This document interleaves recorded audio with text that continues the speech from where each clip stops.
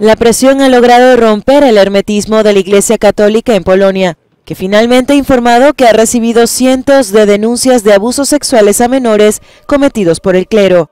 Desde julio de 2018 hasta finales del año pasado, la Iglesia recibió informes de un total de 368 casos de abuso sexual, algunos ocurridos hace décadas mientras que otros eran recientes. Según su análisis, el 39% de las denuncias eran infundadas, pero dicen seguir investigando el 51% de los casos. El jefe de la Iglesia Católica Polaca ha pedido disculpas a las víctimas. Hoy, como delegado de la Conferencia Episcopal para la Protección de la Infancia y la Juventud, quiero dirigirme a los perjudicados y a todos los escandalizados por el mal de la Iglesia y pedirles perdón una vez más.